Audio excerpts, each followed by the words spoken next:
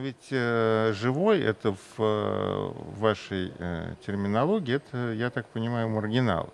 Да, это человек, который вот э, что такое живой политик? Это политик, который делает те вещи, которые в принципе политики во всем мире не делают, если они рассчитывают на э, руководящие какие-то посты во фракциях или э, в государстве. Нет, я неправильно понимаю? А, Я согласен с вами с тем, что я не занимаю руководящего поста во фракции. Я самый рядовой, самый обычный депутат Государственной Думы.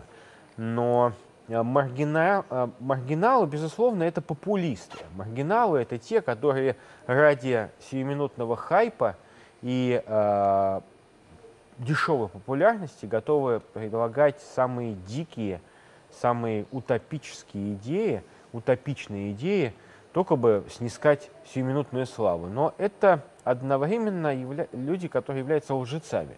Ведь э, поли- политик-популист – это политик-лжец, потому что это безнравственно и бесчестно обещать людям то, что ты знаешь, что это нереализуемо. То есть лгать людям, которые тебе верят, зная, что ты лжешь, и продолжать это делать с умным видом. Поэтому А вам- ну, маргинал это все-таки немножко другое. Да? Маргинал это такое презрительное отношение ко всем, может быть, политикам, которые не вписываются в какую-то солидную, на- занудную парадигму.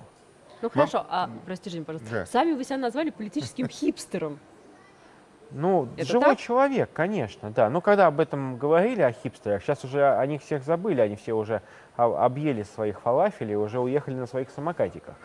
Вот. Но а, я хотел подчеркнуть, что а, человек должен жить жизнью общества. И, наверное, тогда тебе легче а, спроецировать то, что несет хорошие, благие цен- цели на бумаге, на жизнь реальных людей.